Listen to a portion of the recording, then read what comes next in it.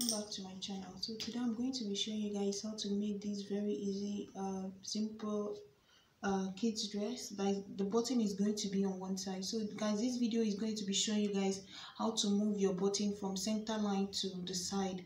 That's basically the main point of this video. So um but it it came in a kids dress. So i'm going to be showing you guys how to cut this dress so um, the first thing you're going to do is to fold your fabric into two since I'm going to be cutting the front and the back together. So this here, the fabric is into two at the moment. So I'm just going to fold it this way. And then um, one is going to be my back panel and the other one is going to be the front. So the width I have here is basically going to be your uh, the widest part of the child's measurement it depends or even if you're making it for an adult so it can be the uh, hip it can be the bust so whichever one it is so you're going to just use that divided by so i divided it by 4 i'm using 24 for the widest part. I divided it by 4 which is 6 and then i added about extra 3 inches because it's an a-line dress. So it depends on you. If you're making it for an adult you can use about 5 inches or so to get the wideness of the a-line or any amount you want to use. So now i'm going to go ahead and insert the shoulder measurement i'm working with. So this is going to be a sleeveless dress. So what i'm going to do is my shoulder measurement is uh, 10 um, divided by 2 is uh, is going to be 5 so i'm going to subtract about 0.75 from that. So it's supposed to be somewhere here. I'm just going to come in a little. But if, if i was making it for an adult i will come in by about one inch so now i'm going to insert my armhole measurement which is about uh, 12 inches from here. So that's 12 divided by 2 is going to be 6 i'm going to mark that here. And then i'm going to come down here by about half an inch insert my neck line about 2.5 here and then i'm going to connect my shoulder slope.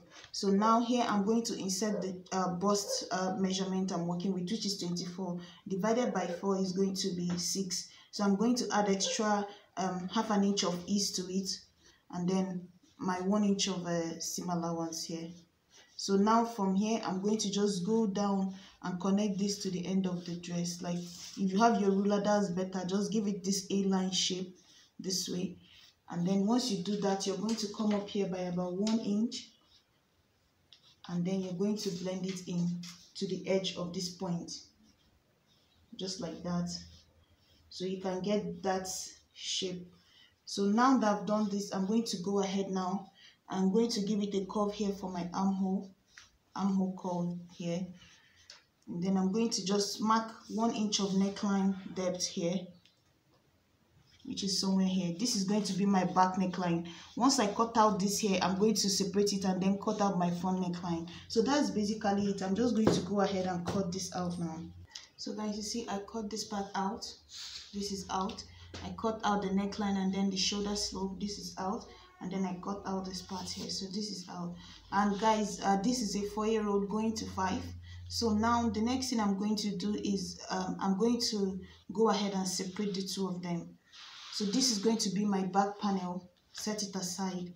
And then this is going to be my front panel. So all I have to do now is just to notch the center so I'm going to notch the center at the bottom and then I'm also going to notch uh, but before that let me cut out my neckline here. So I'm going to come down here by about uh, 2.5 or you can do 3 inches depending on um, the age of the child. So I'm going to do 2.5 here.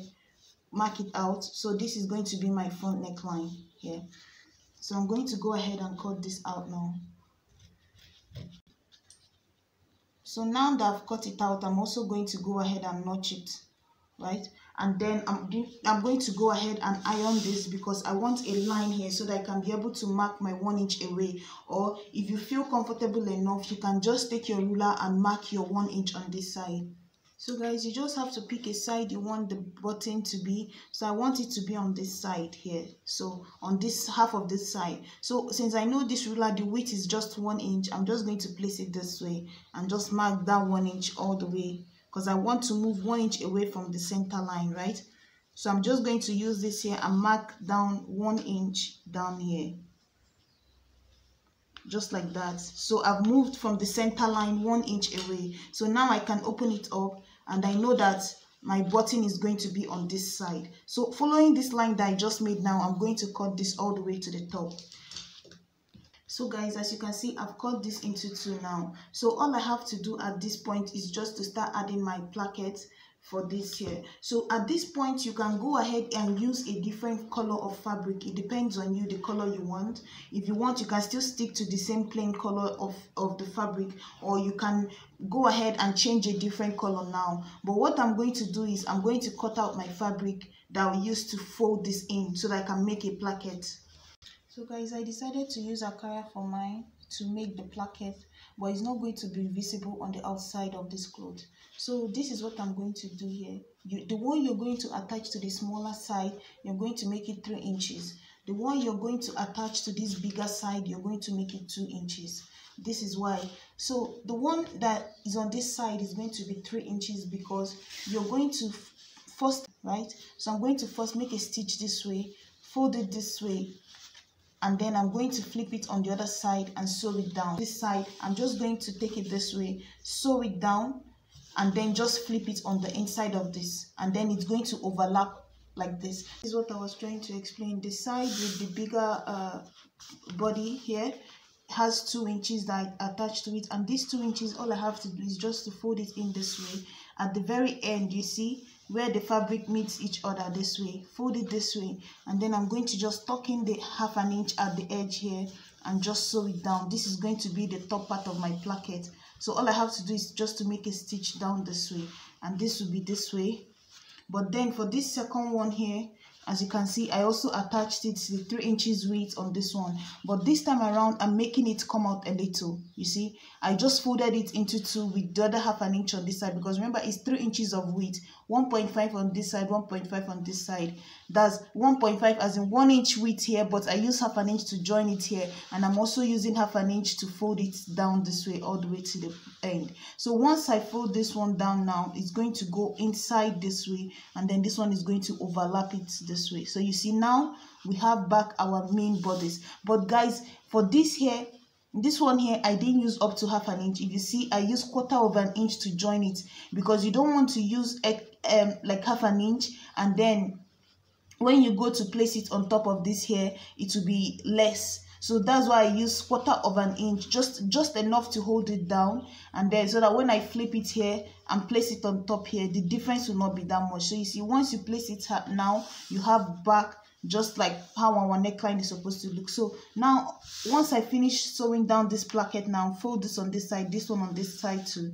All i have to do is just to go ahead and join my bodice i'm going to join the shoulder to the shoulder this way sew it down and then i'm going to try to use bias to finish up my armhole this way and my armhole this way and then close up the two sides is what it looks like now. I've finished sewing it down. So i use bias on the side just bias with this same fabric here and then this is it here. So as you can see it depends on you. You can still move it further maybe 1.5 if you want it to be more obvious than this but i think this is just okay so like if you want the shift on from the midline to be more obvious, maybe you're making it for an adult, you can do 1.5. So this is basically it here. So all I have to do now is just to attach my buttons. I, I was thinking maybe I should use like a fabric to uh, cover up this button so it will be a different color but I think I might just use it the way it is because this fabric already has a lot of, um this color contrast is already too much for this particular color. Just going to put in my button on this side and then the buttonhole on the other side and then fold the edge of my clothes. And this is what it looks like here. So i've put in everything. My buttonhole is on the top and then let me open it up so you guys can see. And then my button is on the other side. So you see so this is basically how you move your bossing placket to one side like overlapping the other side. So yeah. Side. So thank you guys so much for watching. Please like share and subscribe. Bye